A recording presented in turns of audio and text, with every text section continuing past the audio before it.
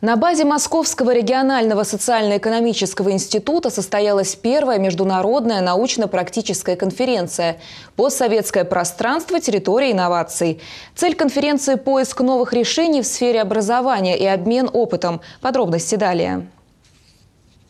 Руководству института за 20 лет его существования удалось сформировать профессиональный состав преподавателей и набрать большой опыт в методике подготовки студентов. До сегодняшнего дня институт ограничивался внутривузовскими конференциями, и теперь накопленный опыт дал возможность выйти учебному заведению на новый уровень.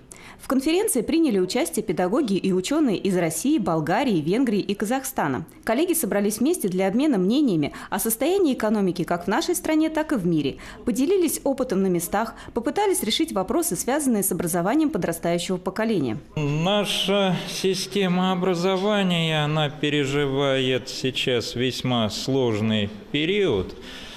А, практически как в 1985 далеком году началась а, реформа система образования. Вот так э, в этом режиме э, мы живем до сих пор. Постоянное перманентное реформирование. Тематика конференции была разделена на четыре направления. Были зачитаны доклады по экономике, управлению, бухгалтерскому учету и психологии. Собравшиеся говорили о необходимости поиска путей решения по внедрению наработанных навыков в процессе обучения на практике. В нашей стране э, уже происходят такие процессы, когда внедряется в ряд школ э, такая наука, теория э, решения изобретательских задач.